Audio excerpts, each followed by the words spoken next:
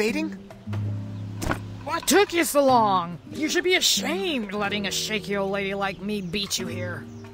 Since you took so long, I had time to prepare lunch. Go on, have some. It's on the house. Ungrateful little. Try and be nice, and this is the thanks I get. Brat. If you don't want it, go serve it to those paying customers instead. Then talk to my waiter. He's the one with your precious information.